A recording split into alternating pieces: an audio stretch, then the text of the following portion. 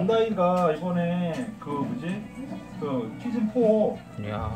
4시즌에 자기 자본 들어갔다며 그랬구나 반다이 자본 들어갔대요 그러니까 이걸 낸 아. 거구나 애니메이션 그러면 만들어줘야 돼. 반다이가 하는 방법이 그거래요 애니메이션 만들 때 썬라이즈를 통해서 자본을 투자하고 프라 만들 상표권을 갖고 그래서 가이낙스가 우리는 안, 안 한다. 그래서 한 거 아니야. 네. 에반게로 그러니까 좀더